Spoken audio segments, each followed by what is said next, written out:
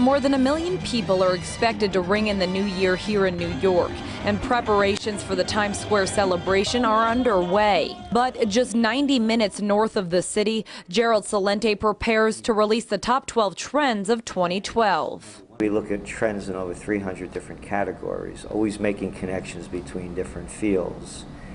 And we look at them through the eyes of political atheists. Celente founded the Trends Research Institute in 1980. He works out of his uptown Kingston office. Tracking trends is the understanding of where we are and how we got here.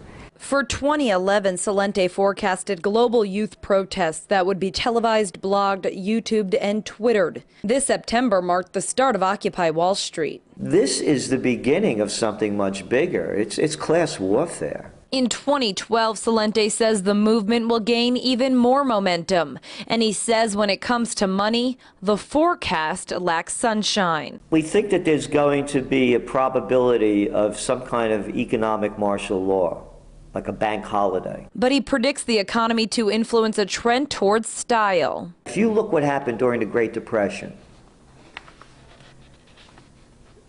we had the happiest, hottest music the full forecast for 2012 will be sent to Trends Journal subscribers in January. In Kingston, Beth Krogan, YNN.